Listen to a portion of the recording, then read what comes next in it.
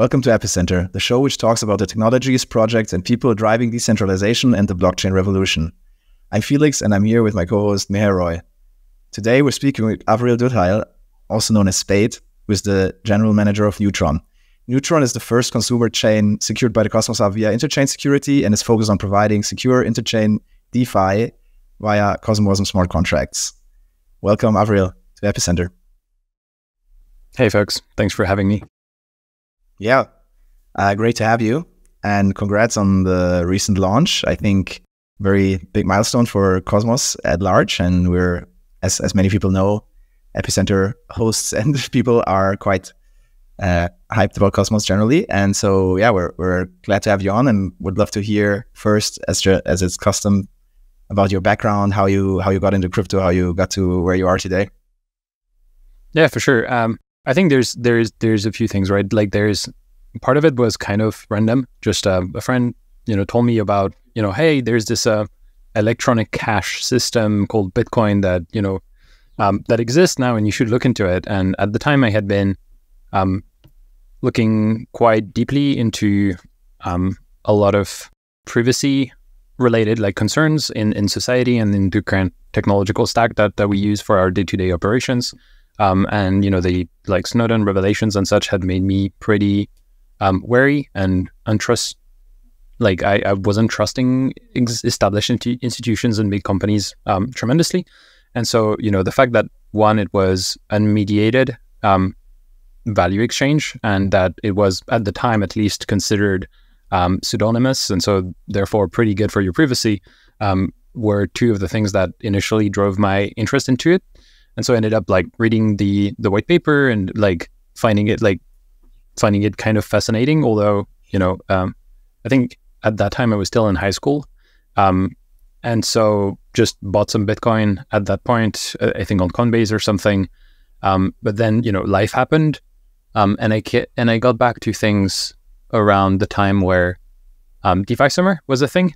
Um, that sort of brought me back into into the ecosystem because now it wasn't just hey, I, we can send this asset back and forth. It was also that we can make programmable, you know, applications that live on the blockchain entirely, have the same properties, um, but the use cases are like way more diverse. And so that that brought me back entirely into the space, and I basically started having you know my day job uh, plus my nighttime crypto job, I guess, of researching how these things worked and um, what could be built on top of them.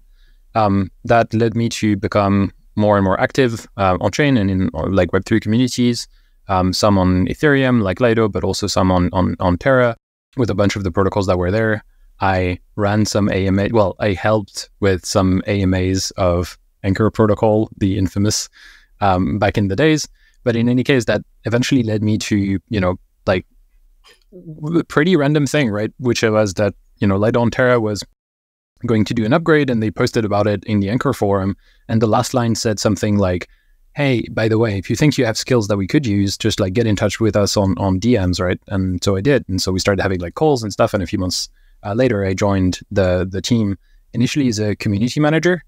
Um, and our team at that time was very strong on the technical side. We had like a lot of very, very um, skilled and knowledgeable engineers, but we lacked a lot of like the the software functions like business development, marketing, and all of these things. Like nobody wanted to do it. That's not what people, you know, were good at. And so, you know, from community manager, just like managing social medias, I started doing more and more of these things. Basically, became, I guess, head of marketing, so like de facto, and then head of growth, handling some of the business development for the project as well. Um, and so that's sort of like how I eventually um, was asked to basically, hey, do, do you want to actually lead the team, um, which is what I do now and what I've been doing for um, for quite some time now.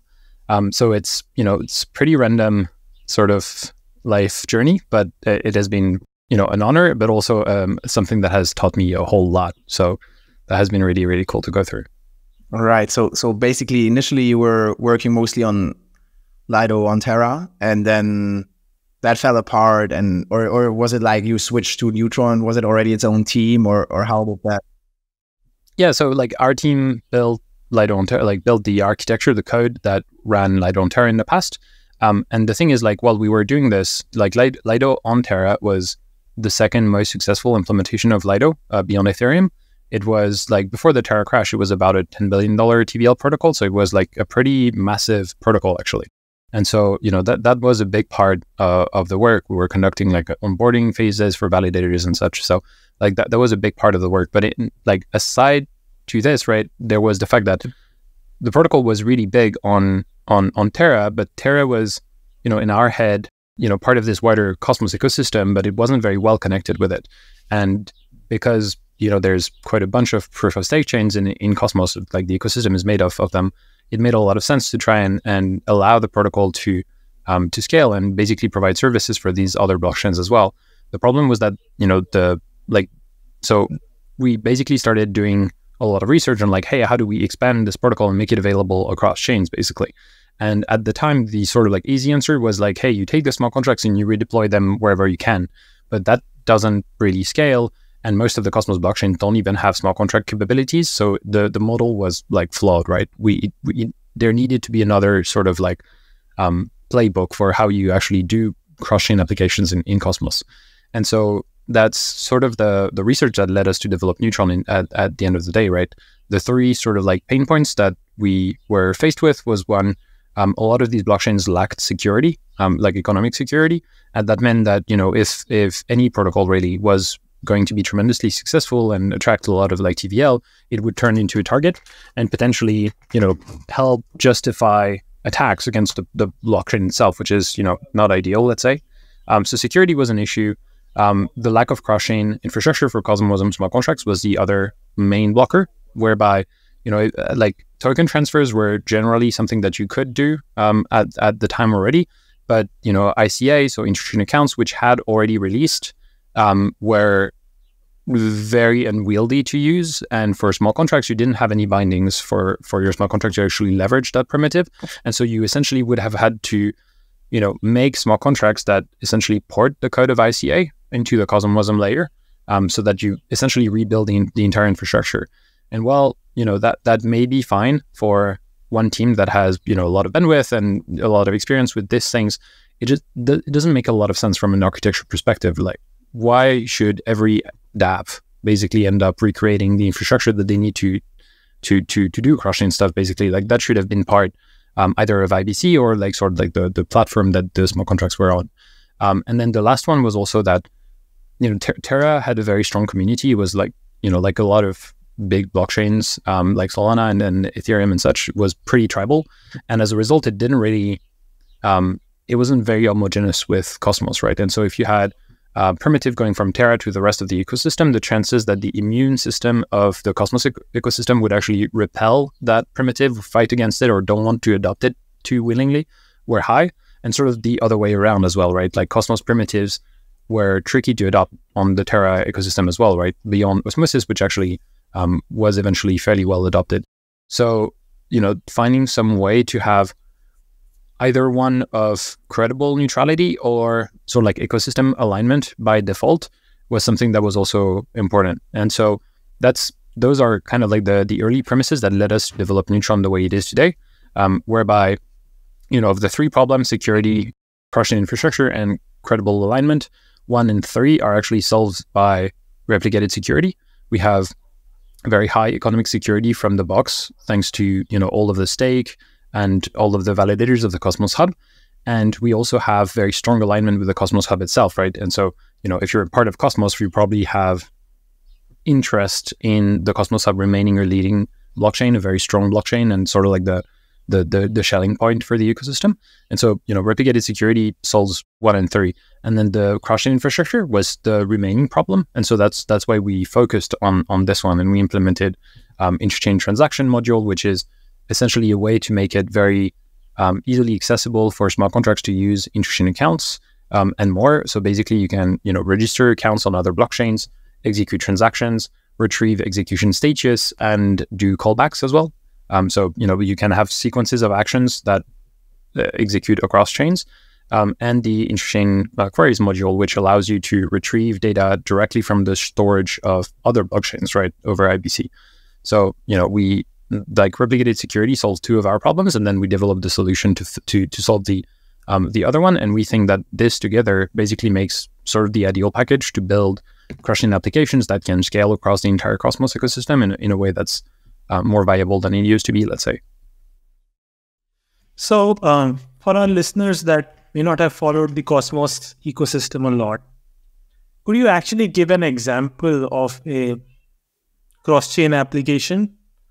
Uh, so, maybe one example, like in, in theory, where where we go like maybe three or four years in the future and say, okay, this is what a cross chain application on Cosmos could do. And then maybe one example more in practice, which is like, here's the top cross chain application that is live today and, and what it what it can do. It may be primitive, but it kind of demonstrates the point. Yeah, that's that's a really good question. So I think I like there's a few like depending on the type of protocol you're building, your your architecture is going to be different. I think a, a, a pretty good example in general is um, you know we talked about Lido a bit, but let's say let's imagine like Russian liquid staking, right? Because that's sort of like where the idea for Neutron came from, so might as well. So the way you could build it is essentially something like it, could look something like the following: you would have a set of smart contracts on one blockchain, Neutron in this case, um, and that set of smart contract we could contain all of the business logic as well as all of the cross-chain management logic. Now, um, this product, like this set of smart contracts, could, um, you know, through either governance or through a multi-sig or what have you, it could accept a transaction that allows it to register a set of IBC channels and create a set of accounts on another blockchain so that it can start, like it can onboard that blockchain to liquid staking basically. And once that's done, so that's that's like you know, expanding to a new blockchain instead of having you redeploy contracts and make changes and such, it becomes one transaction, right? You just trigger that happening at the protocol level, and it does, and and then that's that's mainly it. Um, and then once once that's done, basically, you can have the same UI for the user. Um, you know, you have one UI that you go to that has whatever the protocol brand is, um, and they can choose whatever asset they want to stake. Probably they're auto detected by their wallet. E.g., let's say I connect to that liquid staking protocol. I have Atom. It propose like it, it can offer me to stake that atom but if i also have osmo and that chain has been onboarded to the liquid staking protocol it auto detects that i can have this and maybe i can stake both at the same time but what happens in the background is basically you know if my atom is on the cosmos hub or my osmo on osmo um, there's essentially two ways to do it like the way that uh, liquid staking protocols like stride for example do it currently is that they essentially build a transaction that allow you to transfer all of this to their blockchain and then they'll eventually end up doing the staking operations by sending them back to their native chains and staking them.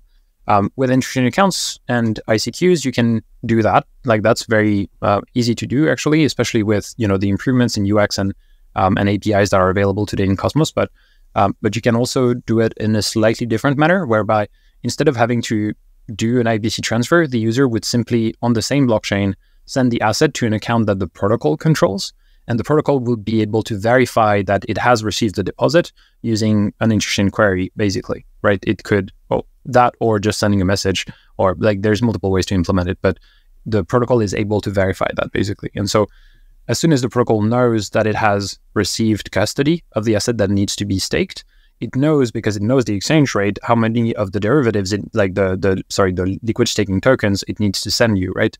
So basically, as soon as it confirms the deposit, it can send the, the, the, the token directly to the user's wallet, either on the chain where the main business logic of the protocol exists, or on the other chain where the user had their asset, right? That that's something that the user can can choose. Basically, the, the protocol itself is able to just do the transfer itself if if needed.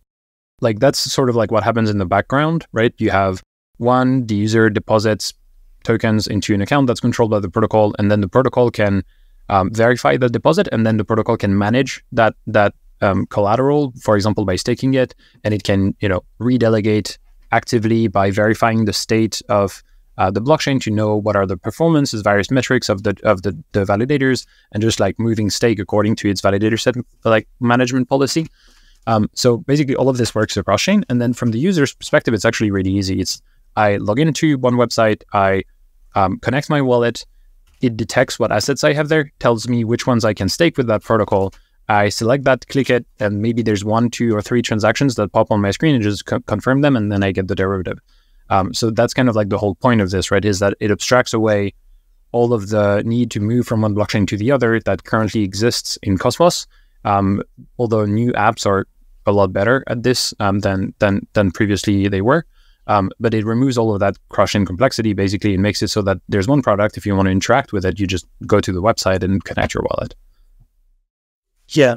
So, so way I'm, I'm kind of imagining this is um, one of the raw technologies that is kind of that is not maybe even neutron specific, but is is there because of the way Cosmos chains can communicate with each other.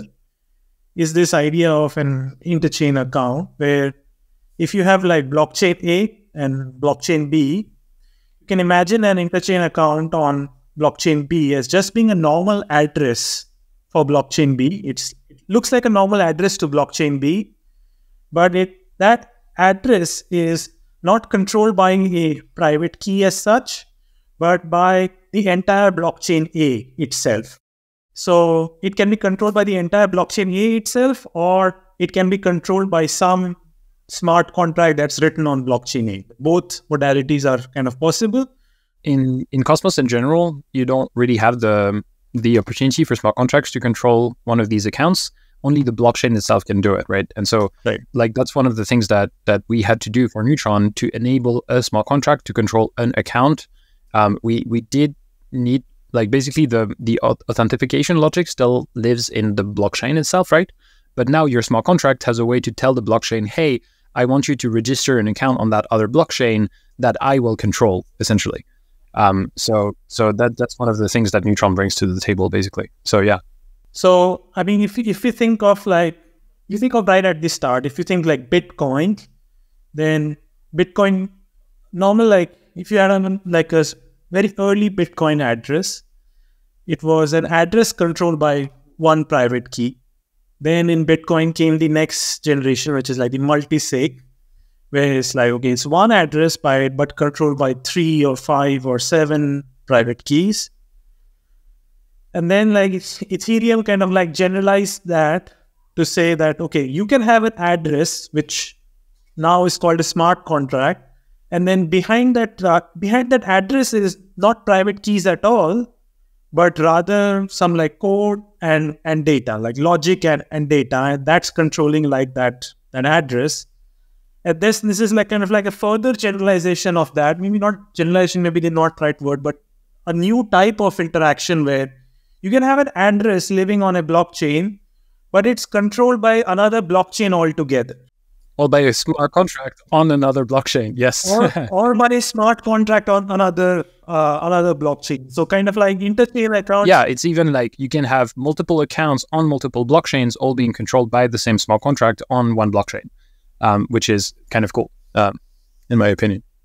Exactly. So like you can imagine that this kind of like like the generalization of basically single sig address, multi sig address, smart contract. Interchain account is like a blockchain itself controlling addresses on other blockchains, and then a smart contract on that blockchain controlling lots of addresses on on other blockchains. So maybe like that's one way to kind of like think of an interchain account. Another way to think of an interchain account could well be that sometimes like people are used to the idea of a uh, custody service right? Like so you you you you want to go to a custody service and have the custody service generate some private keys and manage your private keys. And then uh, the custody service will kind of interact with various dapps on your behalf. And so what kind of a cosmos chain like interchain accounts or cosmos chains fundamentally allow you to do is to is to think is to build a distributed custody service in a way where um, you can imagine like a Cosmos chain is like a decentralized network, but because it can create addresses on other networks and and you can load those addresses with with funds, you can start to imagine like a Cosmos chain or Neutron specifically as like a distributed custodian of assets on on multiple networks. So do you think that imagination also works? I think that works. I think you could build an application that does that uh, on on Neutron, for example, or I think you could even make um, you know an app chain that focuses on doing this um, entirely. And in which case you would be able to, I mean, in both cases you would be able to, you know, build some safety mechanisms and such in, in, in, into the code itself as well. Um, so I, am pretty sure I've heard somebody at a conference recently talk about basically just like their thought process on doing exactly that. So you know that's that's like to to tie this back to Neutron. It's like Neutron was not designed to do only this, but it would certainly provide tools that would allow you to build this if you wanted to. And I do think that that technology can be used to to build exactly that at scale. Actually, um, so it's it's a pretty interesting so like thought experiment. Yeah.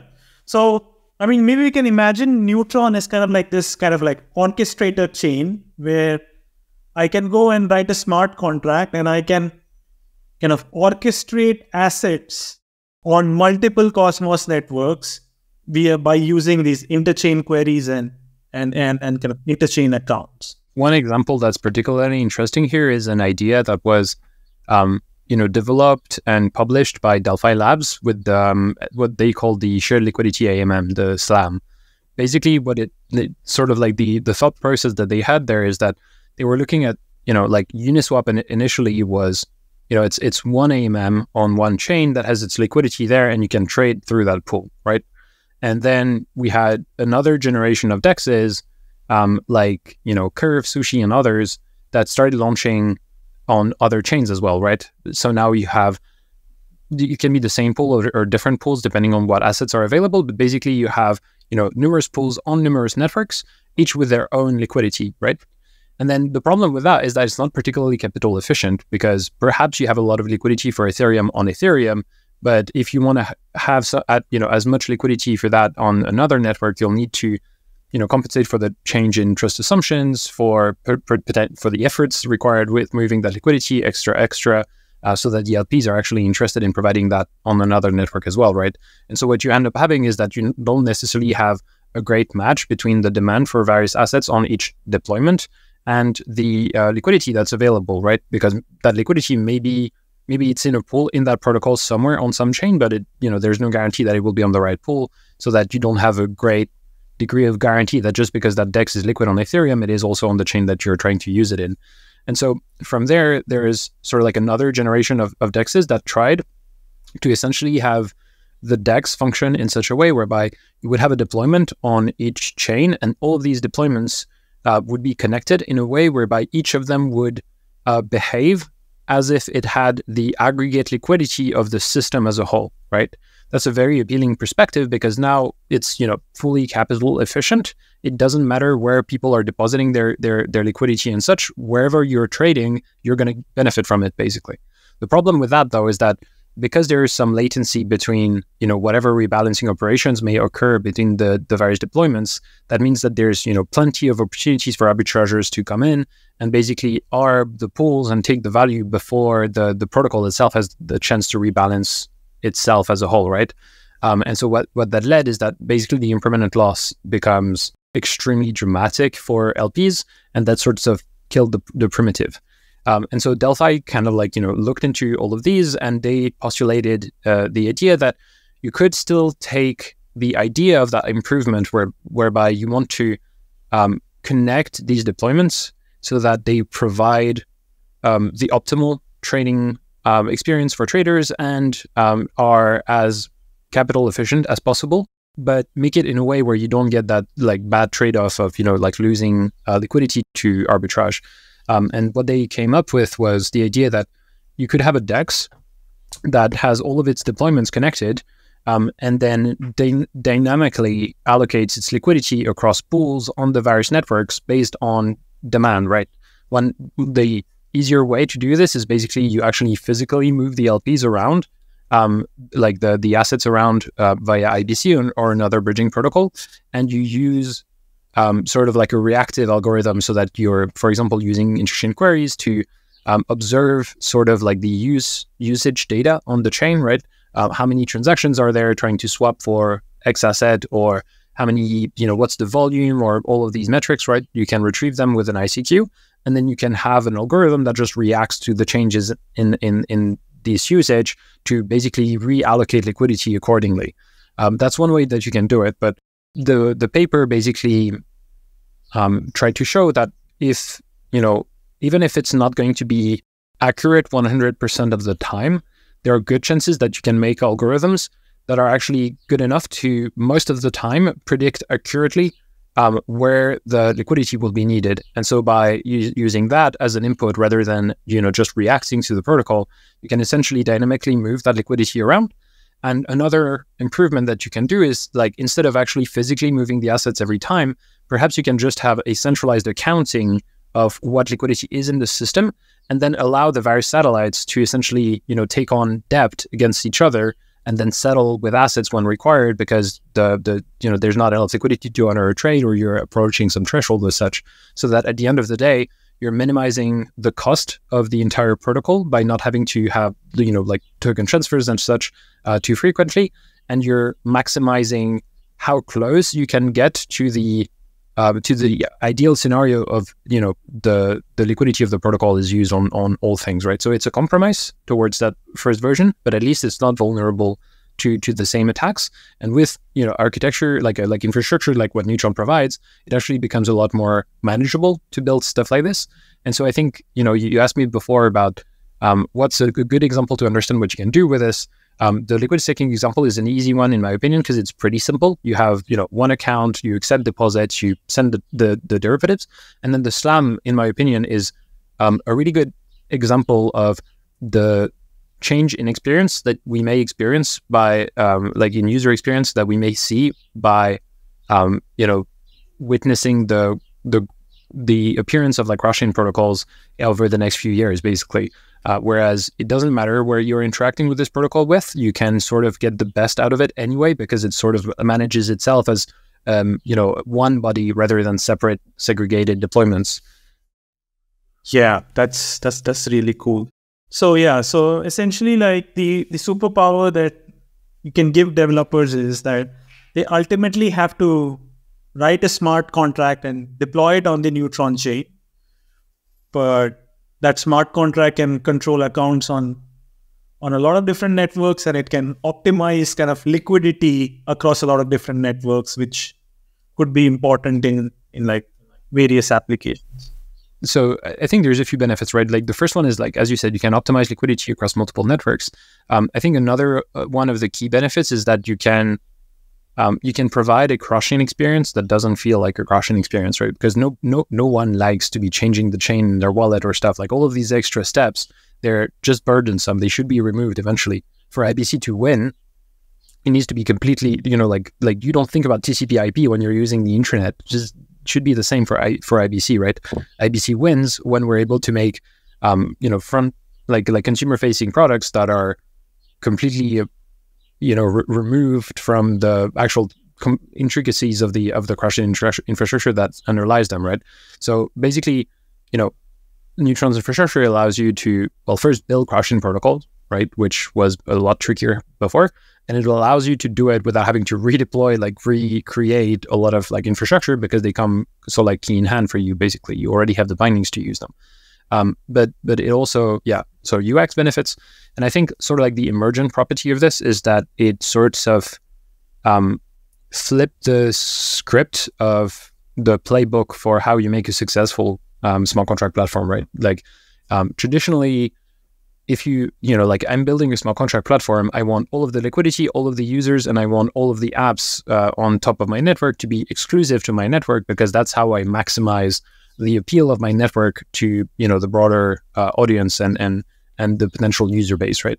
Now, with, with Neutron, because it allows you to actually create interoperable cross-chain protocols, it sort of flips, flips the switch in that we actually need other projects and other app chains to be successful so that there are markets to interoperate, like markets and app chains uh, to interoperate with, right? And what, what it does is that it basically allows, from the perspective of the developers, instead of having to choose a platform by virtue of its specific um, market and market size and its specific feature set, it allows you to essentially deploy on Neutron so that you don't have to choose, right? So, for example, if I'm really interested in in fast execution for parts of my protocol, um, I can deploy on Neutron and then leverage Sei for some of these interactions. If I'm interested in privacy for some of like some other part of my protocol, let's say I want to do sealed bid auctions or private voting, perhaps I can just deploy an enclave on like secret network and then you know anonymize some of the traffic going into my application so that I basically leverage their features um, without, you know, in, in a way that's not like exclusive, right? I can deploy on Neutron and leverage the features of these multiple blockchains, but also because it makes it easier for me to bring my application to market on these blockchains as well. I'm no I'm no longer constrained by the market size, e.g. the you know the amount of, of value on Neutron and the number of users on Neutron. I can now also you know with the same deployment, I can also tap into the liquidity and user bases of other blockchains and other projects. Right. Yeah, but you are basically still limited by the support for interchain accounts or like IBC in like, but you can tap into this entire ecosystem versus just a single, which is yeah. For IC specifically, yeah, um, there there are some dependencies in Cosmos though. Like ICAs are pretty well adopted. Um, a lot of a lot of chains have the like ICAs have sort of two sides to that to them. There's the uh, controller side, which allows you to register accounts on other chains, and then there's the whole host side. Um, there's not that many chains that have the controller functionality enabled, but but most of them actually have the um, the host chain enabled, which means that Neutron can register accounts on them. Right. Do, do you expect that to change? Like many chains will become or will try to become sort of this controller chain, since if you are the like, what are the benefits if you're the controller chain? Like, yes, it's like sort of go through you. I guess you can sort of capture value there. I think it really depends on the project, right? Um, if you don't have a use for your protocol to be doing stuff on other blockchains or or maintaining assets on other chains, then there's no point in you having the the controller functionality. Like in Neutron's case, that was important because you know the assumption is that developers building smart contract applications that that want to expand cross chain will want their smart contracts to actually control some of these things, right? So it was a requirement rather than than really a choice. Um, but but for other applications, um, you know, you, you, may want to use it. For example, let's say I'm a I'm a um, lending and borrowing protocol like Umee. Um, maybe I want to use um, maybe I want to have the ability to send tokens to an enclave that I control, an account that I control on another chain to be able to liquidate through existing public liquidity on an AMM or such. Um, and so, you know, I could use interchain accounts to do that. But now, is that the most efficient way that I can liquidate? Well, that's not a given, right? Because IBC, and especially today, is still um, you know, it's asynchronous and it's relatively slower than um, than what you can do on one blockchain, right? Because you, you need to wait for multiple blocks to be passed for the entire sequence of events to unfold. Um, so that may be a good solution, but potentially there's a better way to do it, right? And for example, like Umee currently, um, to, to, the extent that I, uh, to the extent of my knowledge, um, what they do is instead they auction off the collateral on Umee so that the cross chain um, transfers are not handled by Umee and they don't have to wait for that. They just, you know, they just do the auction and whoever is the fastest gets gets the bonus essentially. Um, so you know th- there are trade-offs here, especially in terms of speed today. Although I expect that this will become um, a lot less burdensome in the future because block time hasn't mattered so much in Cosmos so far. But as more and more applications are built upon IBC like latency is going to become more of a friction point, and so there will be more of incentives for change to sort of like improve in this front, in, in my opinion. So I expect block time to trend lower in Cosmos because there, there's a lot of low hanging fruits in this regard. Um, but now, you know, an alternative for what Umee might be interested in having interchain accounts for is, for example, how about they allow um, users to deposit collateral from other chains, right? Like that. That's that's a lot more you know palatable for UMI, Umee because it, it basically provides um, easy access to the protocol um, from other chains that people might have assets and interest in, right? And so, for example, they could deploy a, an outpost on Neutron that allows folks to deposit into the protocol without having to do the IBC transfers to the Umee blockchain, uh, just by sending to an account that they control on Neutron and then just moving and depositing the, the, the tokens at a periodic interval, for example, something like this. Um, so that would be possible. And in fact, that's kind of the route that Osmosis is going for. Um, it's not necessarily like ICA specific, but basically they're going they're working on this outpost model um, where the outpost is what I would call like a lean outpost. It doesn't actually hold any liquidity, uh, so it's not synchronously composable, but it sorts it serves as like an interface, an API for protocols that want to leverage um, osmosis. So right, so you have the smart contract, for example, on Neutron, and you know it can have a UI that allows you to use it as if it was a DEX on Neutron, or other smart contracts can interact with that smart contract to basically send calls to the Osmosis blockchain, right? So if you send it to token to do a swap, it will take that token, send it to Osmosis, um, swap that token as long as your slippage metrics are you know are valid um, and the slippage didn't get out of hand, and then return the proceeds to you, basically, right? So it, it serves as like a, an API for for osmosis, essentially. Um, so there's a bunch of models that that that applications can take, right, from the most heavy outposts, kind of like Mars, what Mars is doing, for example, on osmosis, where the collateral um, actually lives on the blockchain where the outpost is, um, to the leaner models where like which osmosis or Cosmoswap are, are doing, where it's mostly an API. Right. Yeah. Super interesting. I, I think, yeah, we basically, you, you mentioned the three kind of core things that you wanted to solve or that you saw the problems in the Cosmos ecosystem, right? I, I guess we talked mostly about the second one now. And you, you mentioned, like, I think, ecosystem alignment and security, which are basically coming out of the box more or less through interchain security. So I guess we can dive a little bit into your, or like interchain security, you know, what is interchain security? Probably start there, and we can get into like how how you how you adopted it, how you leverage it. But maybe maybe start simple, and then you can sort of explain what interchain security is, or replicated security. We also hear it called sometimes. So yeah, maybe give our listeners a bit of a the basics of interchain security here. Yeah, for sure. So interchain security is a family of technologies um, from the great category of shared security in blockchain, which is essentially, you know, how do we use the same asset to secure multiple of chains. And it's a flavor, let's say it's a category, a family that is specific to Cosmos, right? Because it leverages IBC, so interchain, interchain security. Um, now, the specific variant that currently exists in production is called replicated security. And um, the the sort of like one liner pitch for what replicated security is is it is a technology that allows the provider chain, in this case today the Cosmos Hub, to provide the same um, economic security that it personally enjoys, like that the blockchain enjoys, to another chain called a, either a partner or a consumer chain. Um, and it does so by leveraging its validator set and its stake and uh, IBC, right? So there's a connection between the two blockchains that allow them to exchange messages, and that allows the the sort of like proof of stake setup of there's a reward for validators doing their job and there's a punishment for them misbehaving.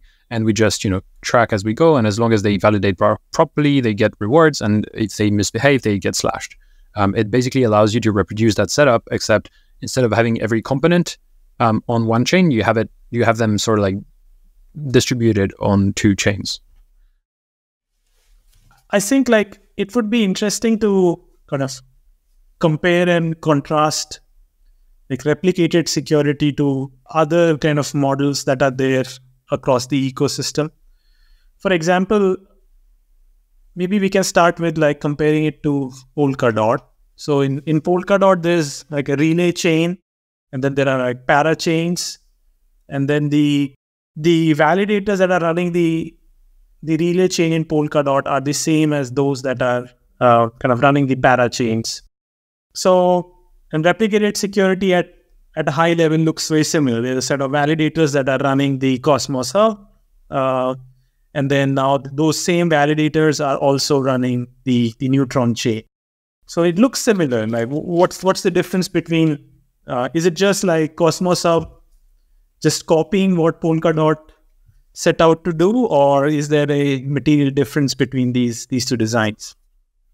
No, clearly it's just a copy. Um, you know, we were a bit jealous of, of Polkadot, so we just decided to to apply the playbook. No, I mean, like, th- like the first thing is like that has been in the works for quite a long time, right? So I I don't think it would be fair to say that it's um, just the hub like copying this, but it, it as you said, like there are very similar in sort of like the um, the structure of that technology, with I guess one, well, I, I would say like two major differences. The first one is that um, in Polkadot, it's this mechanism is is required to join the Polkadot ecosystem. If you you know if you don't get your parachain um, attached to the relay chain, you basically don't have a Polkadot chain. Um, you maybe have some code, but you don't have a functioning blockchain. Whereas in Cosmos, like all of the Cosmos technologies are available for you to use and in your own project, regardless of whether or not the hub wants you to be part of the you know Atom Economic Zone um, the sort of like you know like I guess you could say the Atom Economic Zone is uh, to the Cosmos Hub what Polkadot is to the relay chain, right? It's the ecosystem of chains around it. Um, and so, like, that, that's the first thing, right? Interchain security is not required to launch in, in Cosmos. And in fact, the vast majority of chains in Cosmos today don't leverage like interchain security at all. Um, and the second thing is in Polkadot, you have a mechanism for the onboarding of new chains that is very, very formal. E.g., there's an auction, and whatever gets the most dot, you know, locked into that auction is what gets uh, a, a parachain slot. Um, in Cosmos, for better or for worse, there's no formal mechanism, right? So it, it, it is, um, I guess, as usual in Cosmos, it's it's done through governance, right? So there's um, a sort of like public negotiation process, and that has you know trade offs. On the one hand, it's less clear. You know, it's the it's it's a lot more flexible, but it's also less clear what should be expected from there. Um, but at the same time, it also allows you a lot of flexibility because, let's say, um, there there's sort of three main tools that you can um, sort of like put into the the balance to get listed on like to get uh, onboarded into replicated security today. Uh, obviously, there needs to be something in in it for the hub for the for the the hub and its community to vote for your chain to be onboarded. Um, and that, in my opinion, can come mostly in three ways. Um, first one, it's either if you have a token, if your project has a token, then you can allocate some of these tokens either in one go or through streaming or whatever distribution mechanism you want to the Cosmos Hub, right? That's a very straightforward sort of like mechanism. The second one um, is if you if your protocol generates revenue in whatever way, um, then it can allocate a portion of that revenue. And that may be transaction fees on the network. There may be um, fees on specific operations, like for example, for DEX swap fees or or what have you. It can be MEV revenue. It can be you know whatever you can think of. If you generate revenue, you can share share that with the hub. And then the last thing, um, which is paradoxically, I think the strongest element early on, but also the one that is the like basically impossible to quantify and so it's very difficult for to take that into account into the thought process is sort of the strategic value um, to the hub and to atom as an asset that adding the project may have right? So for example you know like one of the one like some of the projects that are looking planning to onboard to replicated security in the in the in, in the short term are liquid staking app chains so beyond the fact that these protocols through their financial services generate revenue uh, by taking cut on the liquid staking derivatives. Um, so that, that's one of the things, right? Or maybe they have a token and they allocate some to the hub. That's another mechanism. Um, the this one of the deciding factors is that because these protocol actually handle and manage a large amount of Atom, which is crucial to the security of the Cosmos Hub itself, there is a strong incentive to ensure that these chains are adequately secured so that they're not too easy to capture for somebody who would be like looking to try to do you know like a governance or economic attack on the hub right? Because if you compromise these chains you're going to be compromising the mechanisms like the you know the uh, interchain accounts that control the stake on the cosmos hub as well. And so that gives you potentially a way to lever up on the damage that you could do to, to the hub right and so here we have like this third lever that comes into play whereby there's a strong strategic incentive for the hub to secure these chains whether or not it's going to make a profit by doing so right um, so there's this sort of like three categories that that apply in replicated security, and they're difficult to assess. There currently doesn't exist a formal model on exactly how to do that the right way, um, and there's a bunch of trade-offs. E.g., one one approach um, that that we sometimes hear is that the hub should launch as many consumer chains as possible because this way it has it optimizes its chances of having one, two, or three unicorns in in the batch. In which case, that's a really good outcome, and it can just trim off the the projects that fail over time. You know, that's one way of doing things. Um, but the the problem, the limiting factor here, um, is that while that's probably technically possible, economically speaking, that implies that validators now have to run, you know, 20, 30, 40 times more infrastructure, which means that that basically closely translate to 40, 50 times the uh, the infrastructure cost, right? Running an additional blockchain in replicated security basically translates to the same cost as running another chain without replicated security, at least today. Um, and so, you know, th- that cost, that burden on the validators is currently the limiting factor to the adoption and growth of the number of chains on, on replicated security. And that's something that's actively being worked on by numerous teams. Like we did quite a bunch of work on this. Like we were the first one to actually push for this to be uh, modeled.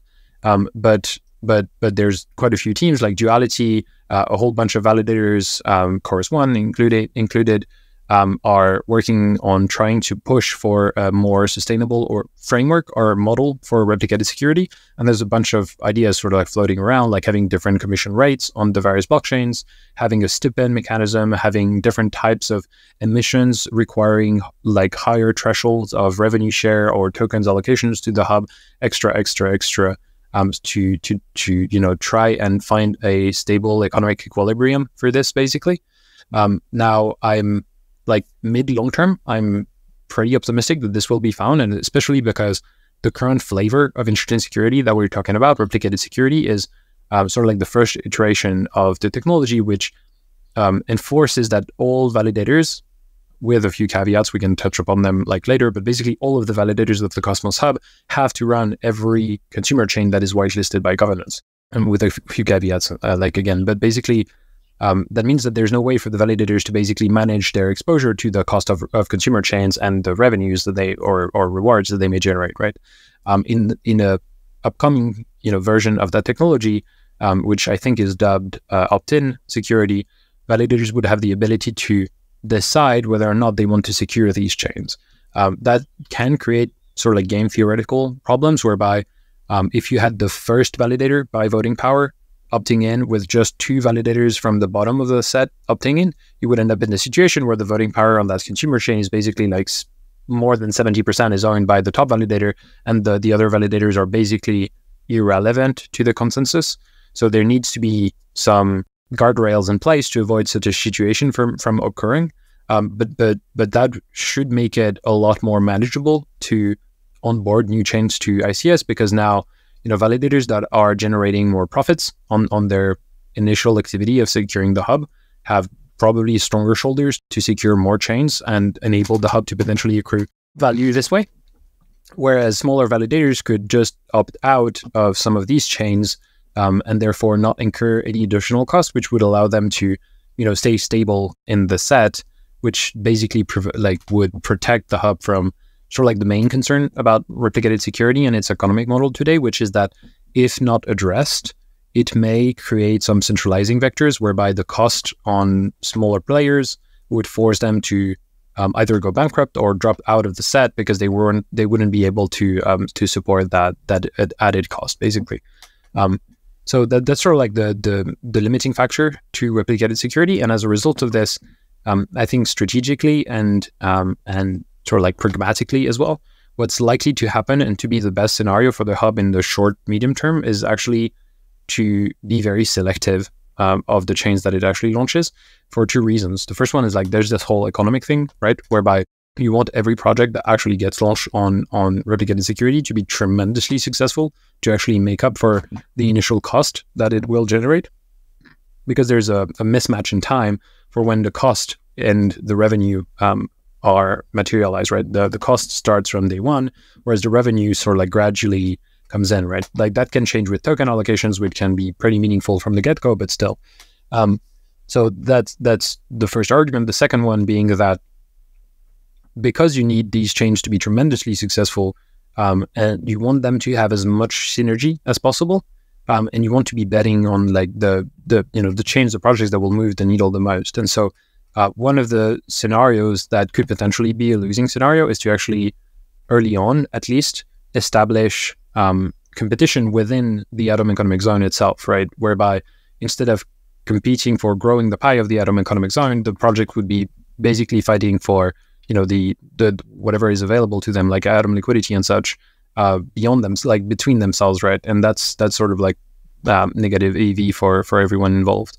Um, but if you know with that strategic approach of like carefully vetting and being selective of, of projects initially before we have better technology better frameworks for assessing the economic um, value propositions of the various projects um, I, I, think like the technology is a tremendous potential right? And i, I think that it does um, like having pioneered this um, has been i think very significant for neutron as well so maybe like to to recap, right? Like, is it fair to say that uh, on a high level, both uh, replicated security, the atom economic zone, and Polkadot they are going after the the same broad concept, which is let's build a a good validator set, and then get that validator set to to uh, to run multiple chains. So people can like kind of like launch their own chain and have already a validator set that can that can secure the chain easily. So on a high level, it's kind of aligned.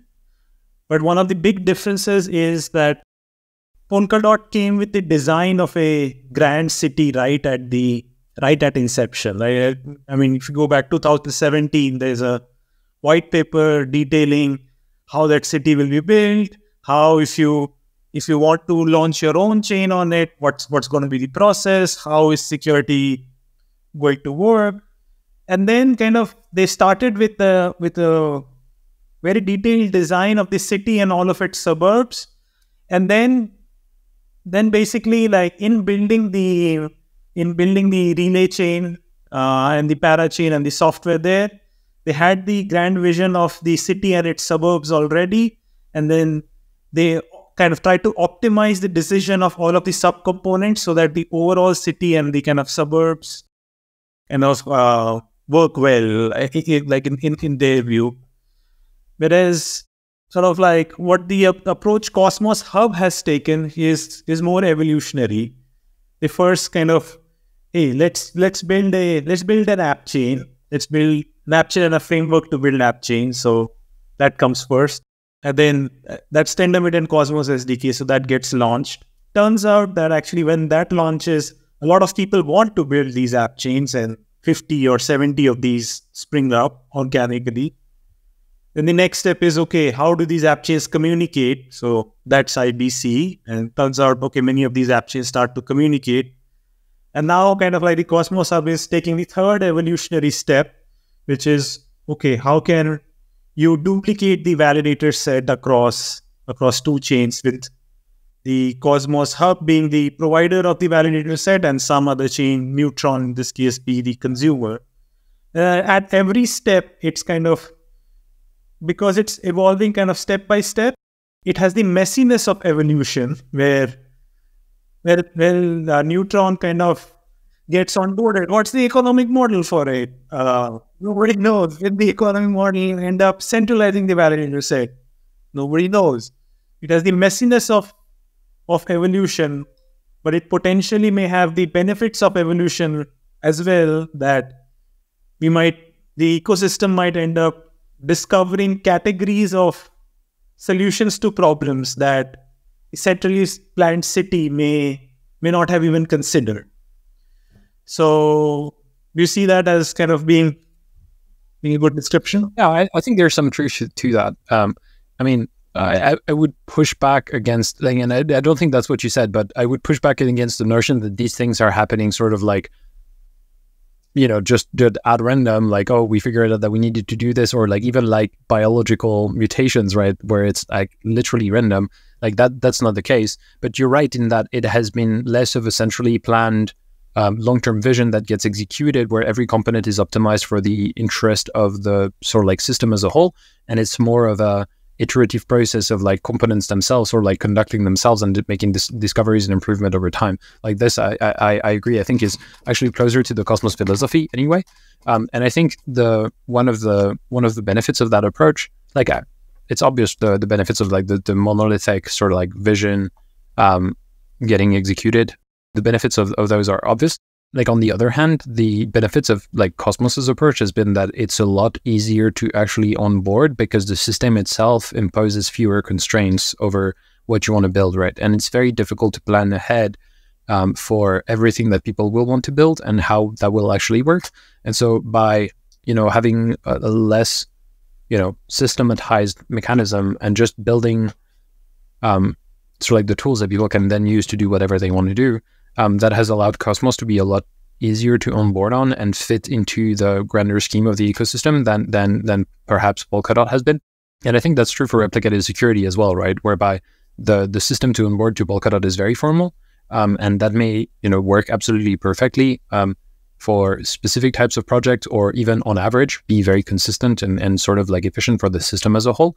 It may not actually work with some some chains, right? Like for example, um, I think you know, like one of the assumptions of the of the auction model uh, of Polkadot is that there will be significant crowd enthusiasm for the project because the crowd is what usually um, has to actually bootstrap the the amount of DOT that is required to secure the slot, right? But how about let's say, you know, uh, um, a chain that does a very niche but important piece of tooling or infrastructure for for developers, right? Like that's probably very useful for the commons, but it's actually very difficult to drive sort of like widespread enthusiasm for for that, right? So perhaps that would be um, kind of like one of the limitations of the model. Cosmos Hub and replicated security, on the other hand, um, are a lot less formal, and so that has you know obvious drawbacks of like it is possible to do things that don't actually make sense if we're not careful. Um, but at the same time, it does also offer some flexibility whereby something that is purely an infrastructure play could still happen pretty easily as long as it's um, as long as its value is justified to the commons, right? So sure, that would be added cost to the system, but if if the benefits of having that are demonstrated, then we can have it basically. Um, that that's not a like sort of like economic blocker to to get that in, into the into the overall system. So yeah, I would agree. I think like your your analogy is is is pretty good actually. Right. Yeah, it, it's very interesting, and I think really only now many people start to realize what it means. I think actually also from our side, right, we were ones that like posted about these implications of running like these many chains. I think there's a lot to come in terms of you know how are we going to solve for that since i think uh, you know there's also no clear path right now how do you actually offboard a, a consumer chain especially like without there it is like, one. there is It, it is very clear how that works. It is very clear how that works. There's, um, there's, I would say there's like sort of like three layers of politeness that you can have in the offboarding of of a chain. Um, the base layer of politeness is not the issue here, um, which I wouldn't argue for, but is technically possible. Is just just like any other Cosmos chain. If a third of the voting power stops running that chain, then that chain just holds. But because the composition of its validator set is di- dictated by the hub, there is no way, unless the composition of the hub uh, changes, that that chain will start running again, right? So that's that's a pretty strong signal that hey, we're not running your chain anymore. Like you, you can fork it and become your own sovereign chain if you want, but but that's not right. In general, that doesn't seem like a very good model to um, to follow because um, it you know there's like no protection here for the consumer chain, and so what that means is that you know taking on that risk is is going to be a, a barrier or hurdle to the adoption of, of ICS, right? And ideally, you want ICS as a feature and as a, a sub ecosystem that you can be a part of to be as attractive as possible, so that you end up having you know really really really strong projects that you can select into, rather than having just like you know whatever what whatever chain comes up and then just being forced into selecting these because otherwise there is no demand for it for the future, right? Um, and so in general, that that is probably not the right approach. The the second approach is the Cosmos Hub could just make a proposal. Hey, um, we're going to terminate your replicated security lease, right? It has the benefit of being a little bit more formal and a, to have a little bit more time for the consumer chain project to adapt.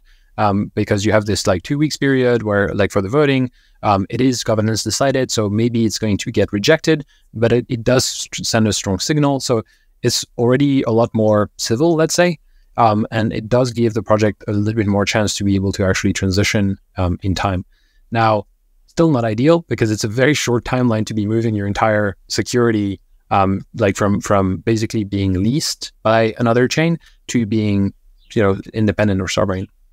I think what's likely to be used in practice, what I would argue for, um, at least at this point, is probably this needs to be done by several proposals over a period of time. E.g., you know, there, there's some like social consensus going going on, and if um, you know the, the the the Cosmos Hub social consensus sorts of reach this tipping point where people are actually considering offboarding that consumer chain, they should make a signaling proposal that says, hey, um, if this proposal is accepted, then it will trigger a three months period during which the consumer chain should either come back with um, sort of like amended security um, security agreement that uh, might convince the Cosmos Hub that actually um, it should stay on with these new terms, basically re- renegotiating the agreement, um, or it will be terminated after a another vote down the line that would actually be triggering the uh, the the removal of the consumer chain itself. And what that does is that The first vote is a signaling proposal and it materializes social consensus so that what was Twitter noises and, and conversations on Telegram um, becomes something that's actually measurable.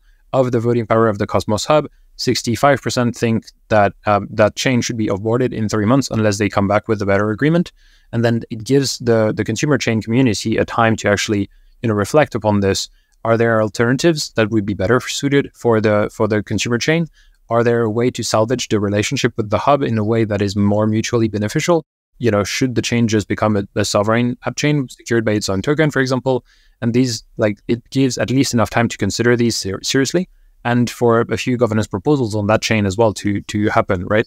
Um, and then you have the confirmation vote that basically um, sort of like signals it, like that sorts of like does a temperature check again. But because there's so much time in between um, you know what like if the first proposal was triggered by something that is more emotional in nature or like market conditions then at least you have some some time to recover from this before it actually leads to to drastic consequences.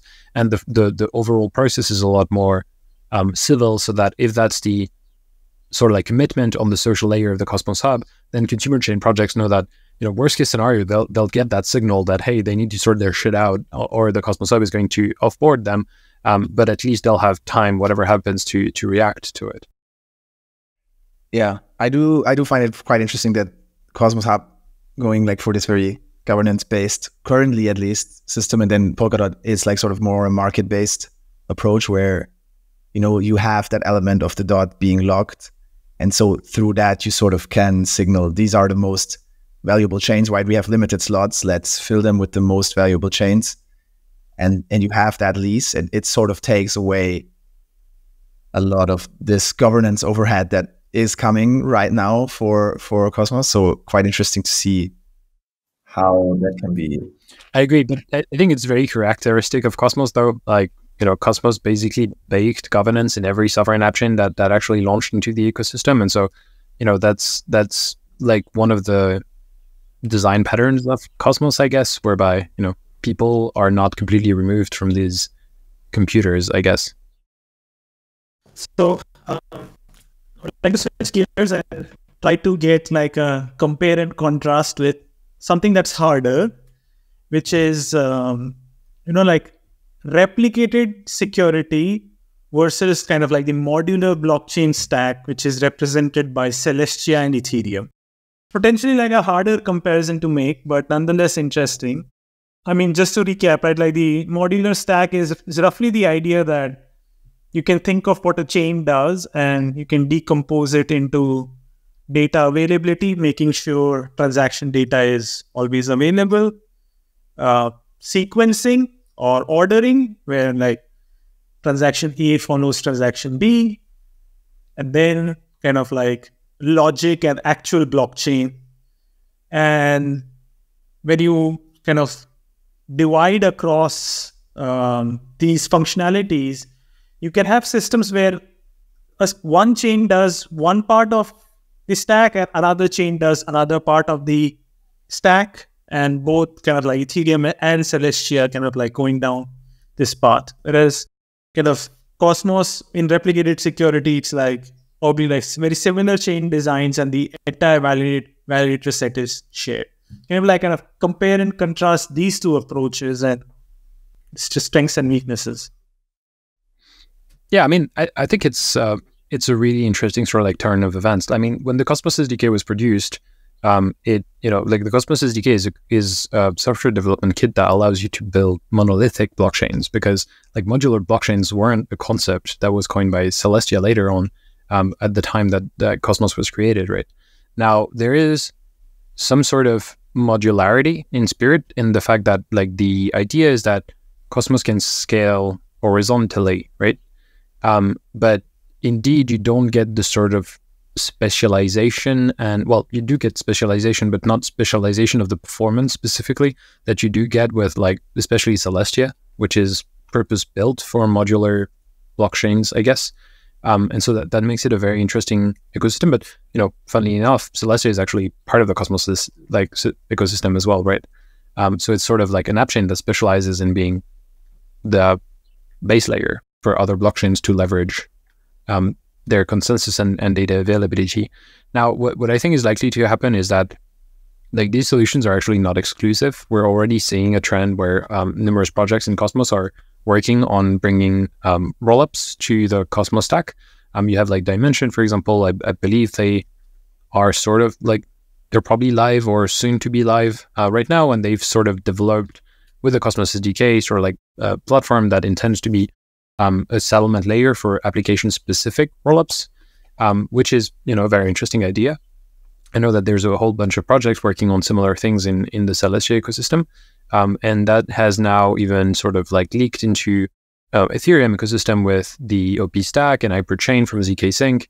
Um, so I think what's interesting here at the fundamental level is that the idea that you can have one distributed computer, like like one blockchain, being tailored for one specific application or use case, um, is actually finding some traction here. We're seeing this idea, which mostly started in Cosmos, kind of like grow into other ecosystems and being adopted and implemented by various technological stacks now.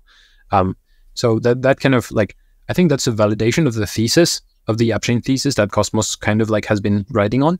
Uh, but it's also like I, I also do think that there's a trap that a lot of folks um, in Cosmos consider that the AppChain thesis is everything should be a Cosmos SDK app chain. I don't think that that's true. I do think that the app chain thesis in that there are significant benefits for to be had by having infrastructure that is dedicated to one application. Um, like I think that thesis is true, but I think the the fact that everything should be in a Cosmos SDK app chain less likely to be proven false over time.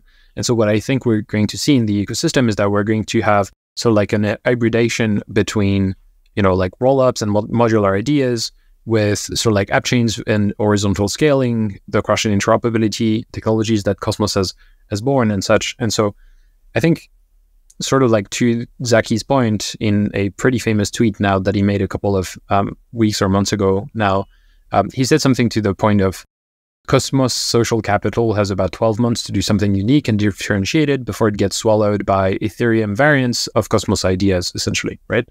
And I, I think that's what we're seeing right now. We're seeing that the idea of an app chain, e.g., dedicated blockchain for a dedicated application, is actually now um, something that is being worked on outside of the boundaries of Cosmos.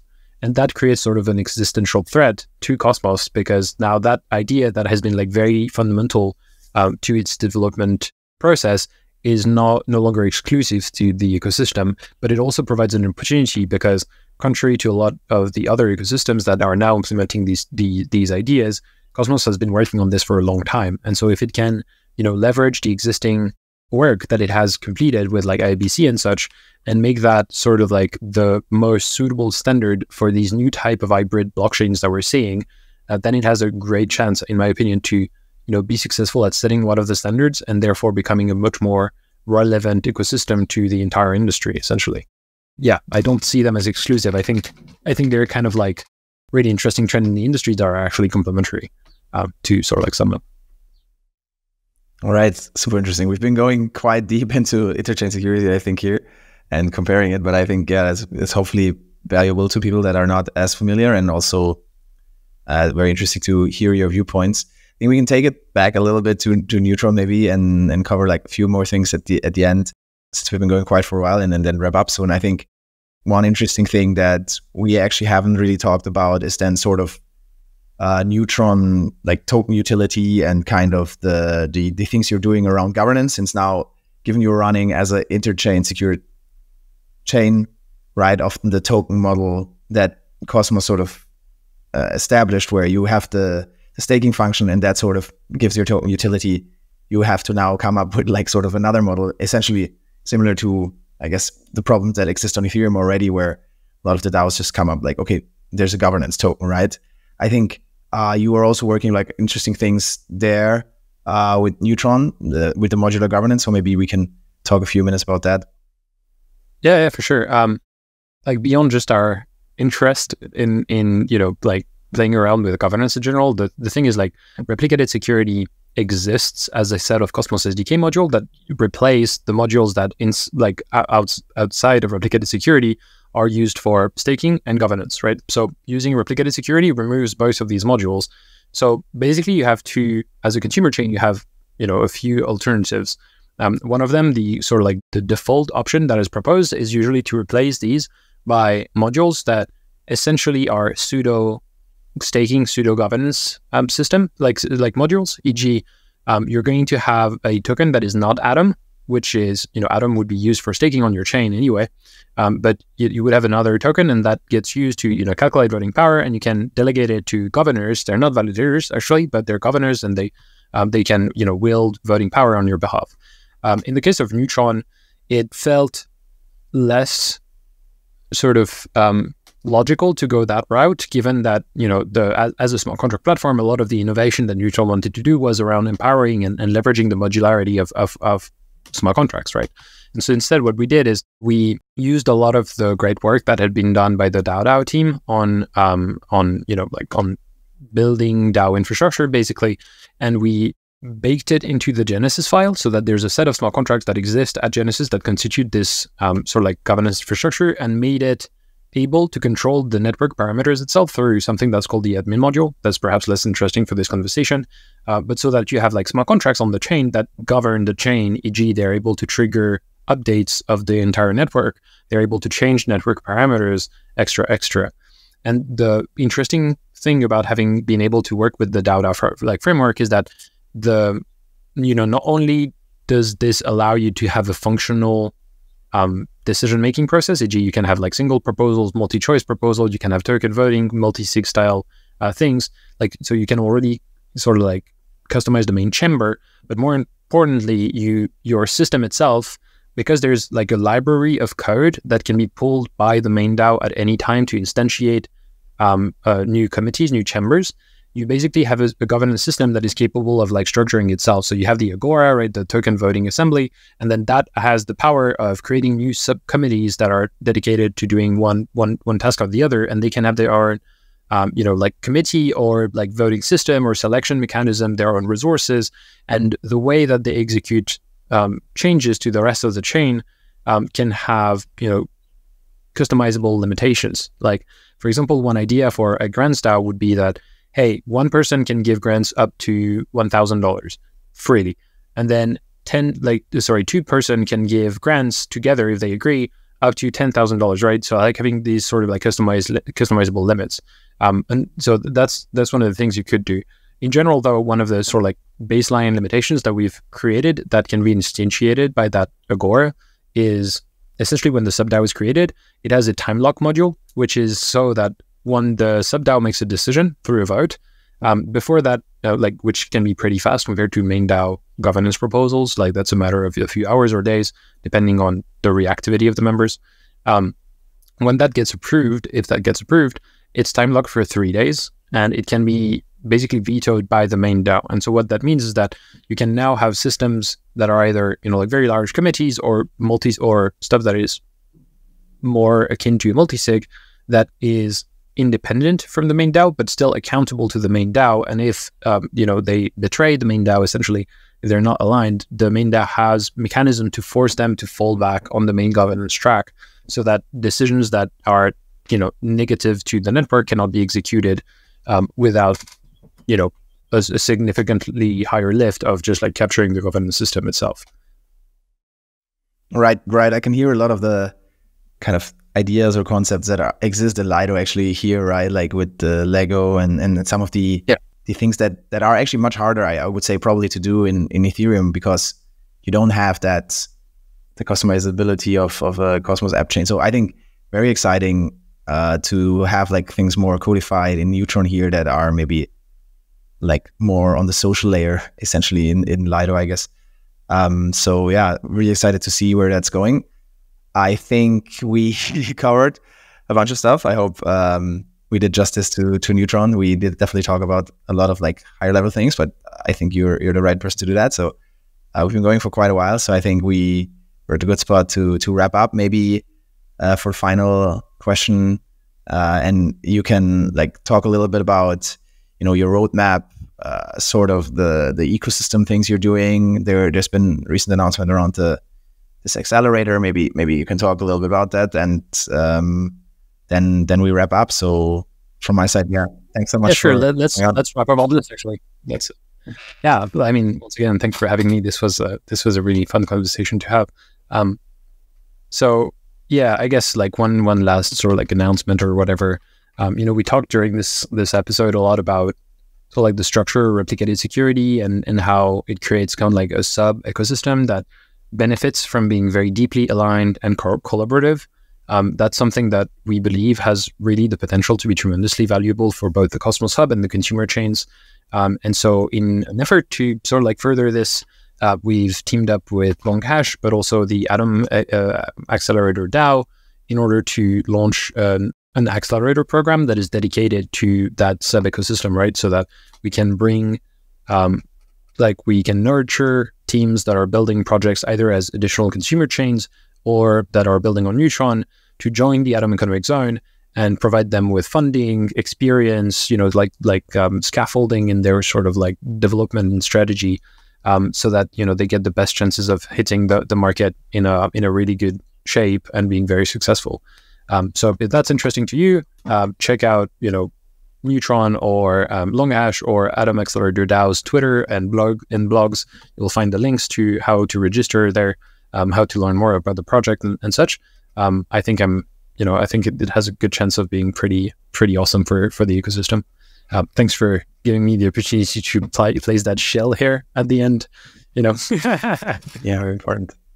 All right. Yeah. Thanks, Avril, for coming on. And uh, yeah, hope our listeners enjoy this this breakdown of interchain security and, and learn more about Neutron uh, in the show notes.